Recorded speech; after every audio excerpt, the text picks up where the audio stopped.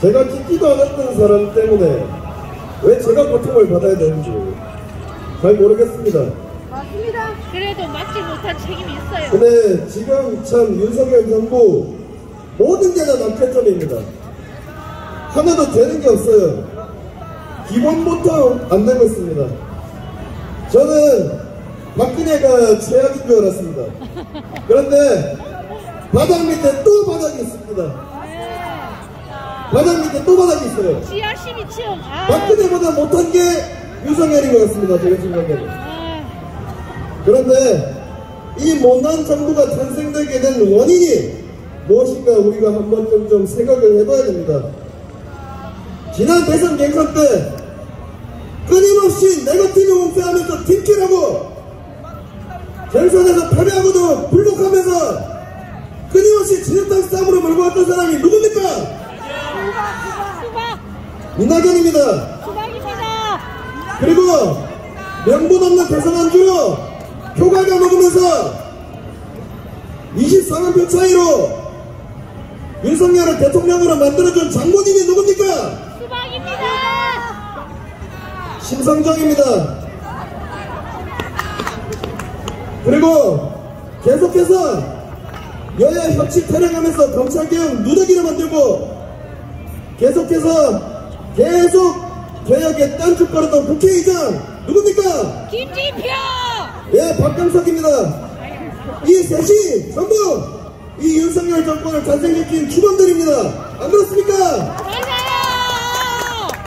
윤석열이 못됐지만 아주 못난 놈이지만 이 못난 놈을 탄생시킨 놈들이 더 나쁜 놈들입니다. 그리고 지금 이 윤석열 정부는 쌍방으로 공격을 가하고 있습니다. 한편으로는 서해 공무원 피격 사건을 구실로 문재인 대통령을 치려고 하고 있고 또 한편으로는 대장동 의혹 개발이라는 이 대장동 개발 의혹이라는 걸로 이재명 대표를 치려하고 있습니다. 그런데 서해 공무원 피격 사건에서 그 사람이 월북을 안 했다는 증거 하나 내놓은 게 있습니까? 없습니다. 그냥 기존의 증거가 다 잘못됐다고 떠들면서 기존의 관련자들 다 구속시키려 하고 있습니다. 이게 무슨 수사입니까? 그리고 그렇게까지 끈질긴 놈들이 난 검찰이 그렇게 끈질긴 놈들인지 몰랐어요. 서욱 전 장관 구속했다가 풀려났습니다. 그렇죠? 김홍희 해경총장 구속했다가 적부심으로 풀려났습니다. 그런데 어제 우리가 축구 보는 사이에 서원 안보실장이 구속됐습니다. 와, 우리가 축구 보는 사이에 공격했어요. 미쳤다.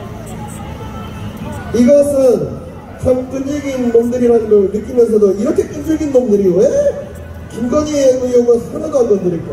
아, 참 진짜. 그리고 이렇게 끈질긴 놈들이 왜 50억 클럽은 박상도 하나만 잡아요? 뭐 박영수는 왜안 건드릴까요? 아, 나참 이해가 안 돼요. 음, 지들의 정의감과 지들의 수사력은 한 사람한테만 엄격하고 한편에는 느슨한 게 이게 수사입니까? 아닙니다. 정치 검찰 어떻게 해야 되겠습니까? 박살내야 됩니다. 그리고 검찰들과 한편이 돼서 한쪽에게만 구속영장 발부해주는 이 법은 어떻게 해야 되겠습니까? 그리고 검찰한테 알랑방구 끼면서 늘 윤석열 정권 조금 속된 말 쓰겠습니다. 똥구멍이 없다는 이 조중동 어떻게 되겠습니까?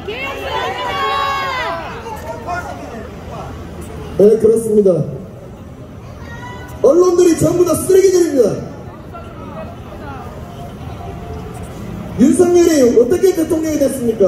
언론들이 다 빨아주고 마사지 해주고 이렇게 해서 대통령 된 게 아니겠습니까 여러분? 맞습니다. 자, 고,